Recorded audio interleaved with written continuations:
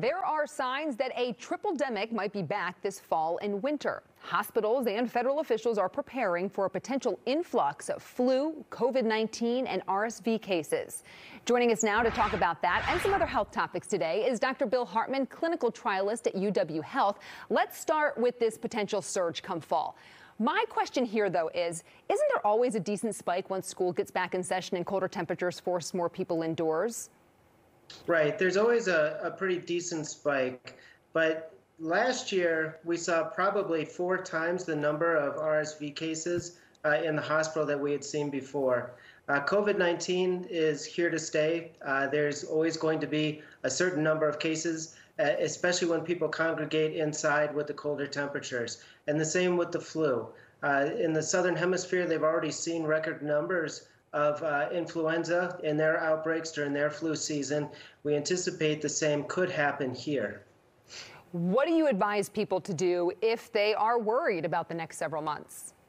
Well, the one thing that uh, people, especially 65 and older, are going to be hearing from now until uh, the season hits is to get the vaccines. So there's a vaccine now for both, or for flu, for COVID-19, and for RSV. So three different vaccines. Uh, it's a it's a lot to ask of people. Last year, only 71% of people 65 and older got a flu shot. Only 43% of those got the COVID booster. So we really have to encourage people to get out and get those shots in their arms. And I know we've talked about this in the past about them potentially manufacturing something like this, but at this point, there still isn't a dual flu COVID shot in one, right? There, there isn't. Uh, th- there are some that are being developed and that are uh, about to start in trials, but at this point, uh, these are all single vaccines uh, that have to be given individually.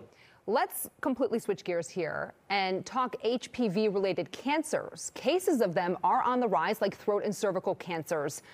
What does this tell us, and what should people do to keep themselves safe? Well, especially with uh, throat cancers in men, we're seeing a sharp increase in the number of HPV related cancers. Uh, this is something uh, that's concerning because they think by the, the, year 2040, this is going to be the most common cancer in men uh, who are middle aged and older. And so it's something that we really have to keep an eye on. The, the thing that we should know is that there is a vaccine for HPV, and it's highly effective when given early, usually to 11 and 12 year olds.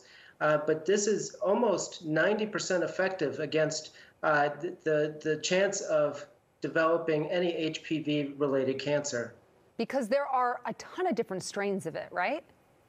over 100 different strains of HPV. But the, the vaccine itself is made up of different proteins that uh, are in the, the capsule of the virus. And so, because of this, the, a single vaccine is good against uh, nearly all of these strains. All right, good advice there. All right, Dr. Bill Hartman, we always appreciate your insight. Thank you. Thank you.